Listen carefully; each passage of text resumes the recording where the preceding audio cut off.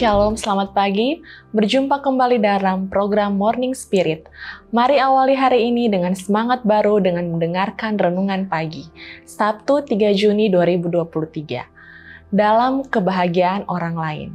1 Korintus 12 ayat 26 berkata, Karena itu, jika satu anggota menderita, semua anggota turut menderita. Jika satu anggota dihormati, semua anggota turut bersuka cita. Kekristenan adalah sebuah sistem yang bila diterima dan dituruti akan menyebarkan damai, keselarasan, dan kebahagiaan di seluruh bumi ini. Agama Kristus akan mempersatukan dalam ikatan persaudaraan yang erat semua orang yang menerima pengajarannya. Misi Yesus adalah memperdamaikan umat manusia dengan Allah. Demikian juga antara sesama manusia. Alfa dan Omega jilid 8 halaman 48. Biarlah hatimu setia kepada Yesus. Meskipun Anda mungkin merasa bahwa Anda adalah yang terkecil dari semua orang kudus, namun Anda adalah anggota tubuh Kristus dan melalui dia Anda dikenal semua agen manusianya dan dengan keunggulan dan kekuatan kecerdasan surgawi tak satu pun dari kita hidup untuk dirinya sendiri.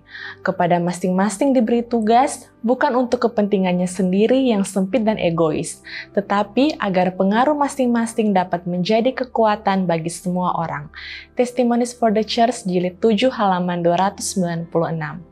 Jemaat Allah adalah istana hidup suci, diisi dengan berbagai-bagai pemberian dan diberkati dengan roh suci anggota-anggota akan mendapat kebahagiaan mereka dalam kebahagiaan orang-orang yang mereka tolong dan berkati.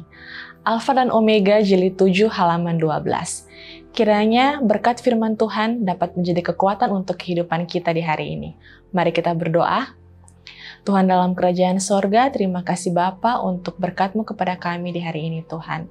Bapa, biarlah dengan firman Tuhan ini dapat menjadi kekuatan dalam kehidupan kami, agar kami lebih setia lagi untuk menanti kedatanganmu yang kedua kali.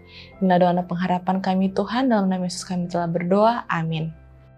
Demikianlah renungan pagi hari ini. Silakan share video ini. Jangan lupa untuk subscribe YouTube channel Cornelius Media dan follow kami di Instagram dan Facebook at Cornelius Media. Tuhan memberkati kita semua dan sampai berjumpa esok hari. thank you